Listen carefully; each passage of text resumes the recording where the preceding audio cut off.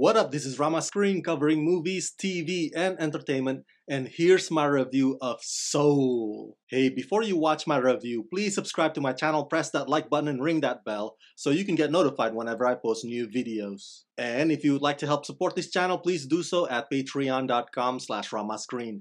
That's patreon.com slash ramascreen. Let's rock this. Pete Docter, the writer, director, animator, who won Oscar for Pixar's Up, and then a few years later, he won his second Oscar for Pixar's Inside Out. And now, is he gonna win his third Oscar for his latest film, Soul? Well, we shall see, but all signs seem to indicate exactly that, because Soul is a funny, heartwarming, wonderful tale of human essence and purpose in a way that doesn't beat you in the head with it. You've got the beautiful animation, you've got the hypnotic jazz music, and you've got the entertaining back and forth between Jamie Foxx and Tina Fey. This movie's got it all, and Pixar has done it again. Directed by Oscar winner Pete Docter and co directed by Kemp Powers,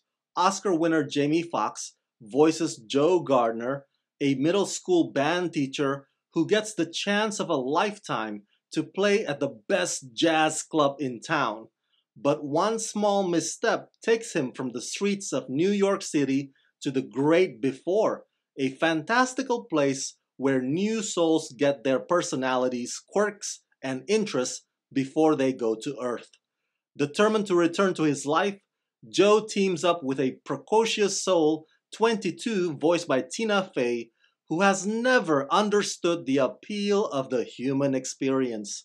As Joe desperately tries to show 22 what's great about living, he may just discover the answers to some of life's most important questions. I'm sure with this case, casting a multifaceted talent like Jamie Foxx, who himself can play the piano and has an incredible singing voice, is basically like winning half the battle. Jamie is absolutely splendid in this film. And just like Sarah Silverman in those Wreck It Ralph movies, Tina Fey also plays a little kid called 22 whose innocence and childlike wonder and curiosity about the human experience is both delightful and joyous. I love the sequences whenever Joe gets lost in the zone as he plays the piano freestyle. It's like he's alone in his own world as these various bright colors just suddenly surround him like they're swaying to it. And because it's jazz, you never quite know where it's gonna go, but the journey, not the destination, is pretty much the whole point. Halfway through, Soul becomes a bit of a body swap movie. So during this period of the story, they kind of crank the comical frenzies up a notch, but the underlying thread of the themes remains intact. The script always knows how to place those profound moments at just the right time. I don't know if Pete Docter subconsciously did this, but parts of Soul kind of remind you of his previous film Inside Out. You see, in Inside Out, there's this place called Memory Dump where emotions and memories get